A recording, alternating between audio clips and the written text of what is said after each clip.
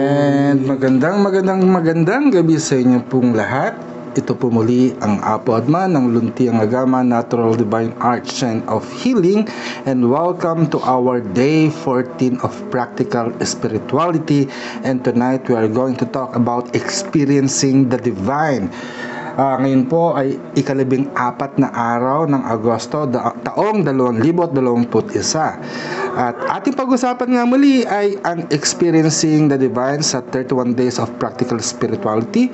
Pero bago po tayo magsimula ay inaanyayahan ko ang bawat isa sa inyo na samahan ako sa isang panalangin. Tayo po'y magdasal, luwalhati at parangal sa dakilang kapangyarihan na lumikha sa atin at sa buong sansinukuban. Dakilang may kapal, hari ng buong sansinukuban, Panginoong lumikha ng kalangitan at kalupaan at ng karagatan. Ikaw rin po ang lumikha ng mga tala, buwan, planeta, daigdig at kalawakan. Sinasamo kita, Panginoong may kapal, natanyag sa maraming katawagan, ngunit nag-iisang makapangyarihan. Sa iyo na may libu-libong kapahayagan sa lahat ng nilalang na umiibig at sumasamba sa iyo, kami ay sumasamo. Sinasamo ko sa inyo, Panginoong may kapal, ikaw na nagbigay buhay at anyo sa lahat ng nilalang, nakikita man o di nakikita, nalikhain mong muli sa amin ang isang bagong buhay at anyo, tulad ng paglikha mo sa amin noong una. Subalit sa pagkakataong ito, likhain mo sa amin ang isang bagong buhay, ang buhay na malaya sa pagkagalit, ang buhay na malaya sa takot, ang buhay na malaya sa pagkamuhi, selos, pagmamataas, kasakiman, at lahat ng kasamaan na nagdudulot sa lahat ng nilalang ng pagdurusa.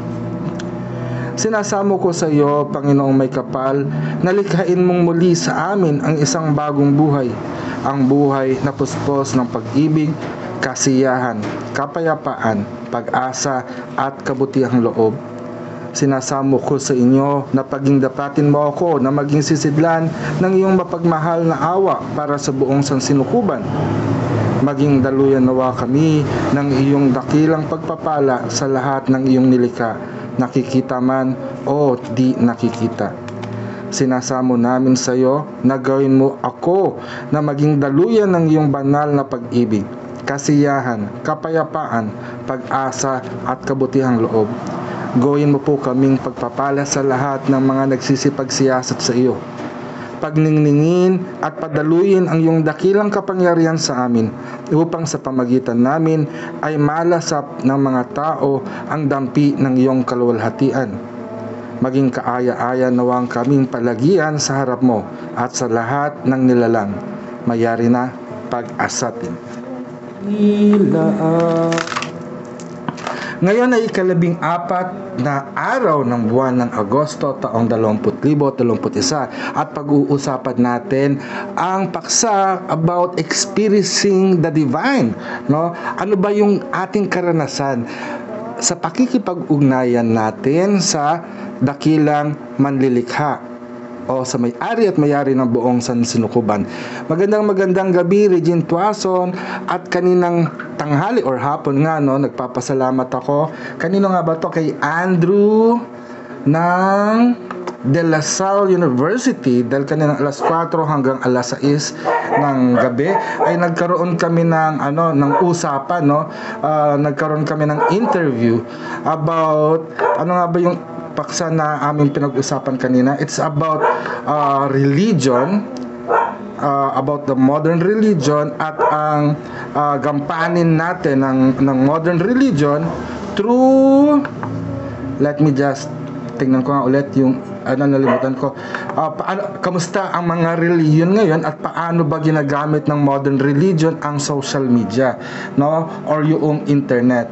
At kanina akin din na experience no? Dahil kasi naalala ko nung ako nasa Saudi Arabia no? Nagulat ako na wala namang mga simbahang Kristiyano sa uh, sa Saudi Arabia pero merong mga ministro ng Iglesia na Kristo at iba't ibang mga sekta ng relihiyong Kristiyano ang nagtatrabaho din doon. At tuwing linggo ay nagkakaroon din sila ng pagdaraos ng pagsamba or or Sunday worship. At minsan nakadalo din ako sa Sunday worship nila at ito ay ginagawa nila online, no?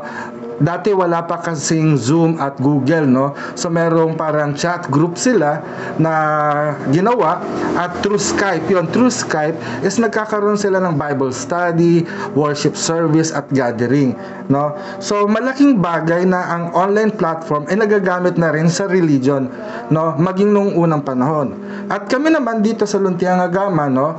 Ah, kung alam nyo po na ang Luntiang Agama ay kaanib ng Corellian Nativist Church of Wicca na nakahimpil sa USA no at ang aming interaction at pag-aaral is nagaganap online. At kaya nga ang Luntiang Agama ay ang kauna-unahang Corellian Wiccan temple na itatag dito sa Pilipinas. At ang ating gawain ay hindi lang ngayon pang internet no? Hindi lang siya pang internet kundi nagagawa natin ang ministeryo natin offline sa totoong buhay no? Ah, at ma- sana yung ah, kay Andrew Manuel no? Sana yung mga informations na naibahagi ko sa iyo kanina ay maging tulong to sa yung pag-aaral dahil ito ay gawa kamo ng ano ah, Southeast Asian Studies no? Bilang sa iyong kurso at ang ang at ang paksa ng research paper mo ay Philosophy of Religion course which involves the use of online platform and social media and religion.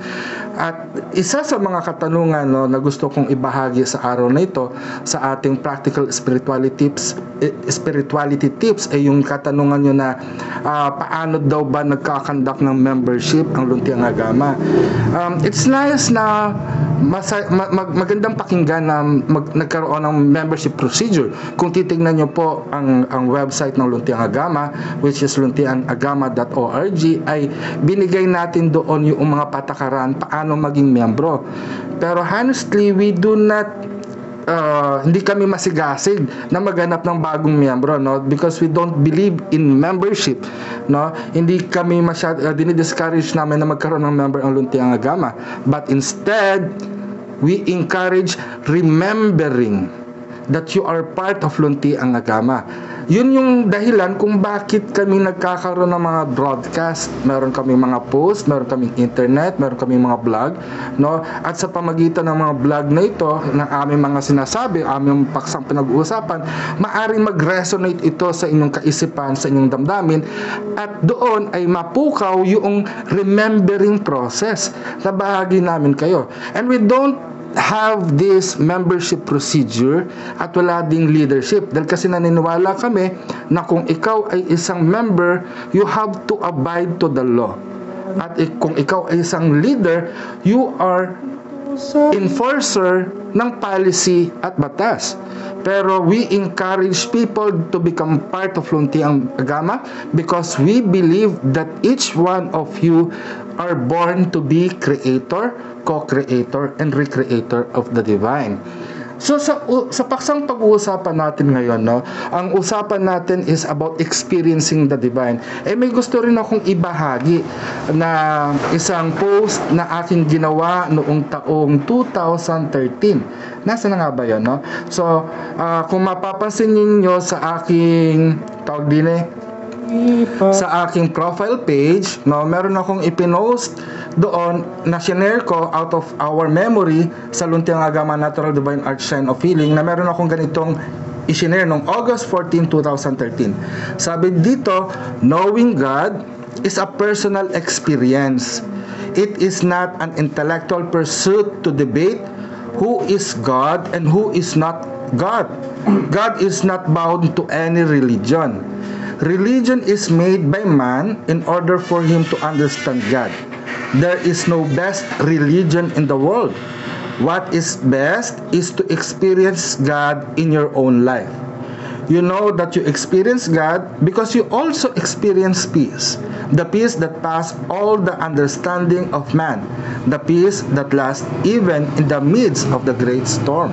So dito ngayon, kanina kaya medyo tayo na late is nagkaroon tayo ng discussion with uh, with the members of Luntiang Agama no? Sa ating mga co-creators kay Lakay Magbaya Agama.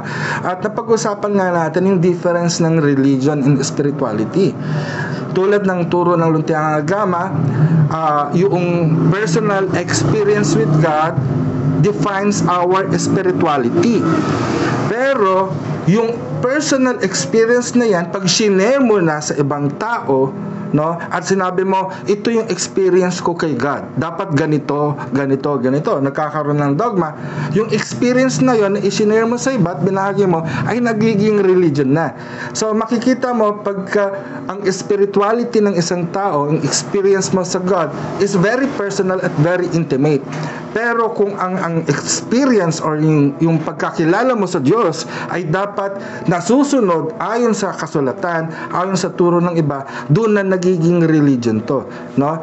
Hindi ko sinasabing masama ang pagkakaroon ng religion, pero dapat ang religion o relihiyon na ating kinabibilangan or dapat kinaangkupan ay pinapahintulutan tayo na maranasan natin ang biyaya ng Diyos sa atin. Kaya nga, bawat isa sa atin, kami naniniwala kami ang bawat manonood, katulad mo, Regine Tuason, na patuloy na sumusabaybay sa akin ah, mula August 1 pa lang, no? naniniwala ako na ang Diyos ay nagpahayag sa iyo. Meron siyang kapahayagan sa iyo. At yung experience mo ay mahalaga. At diyan nagpapakilala sa iyo si God, no?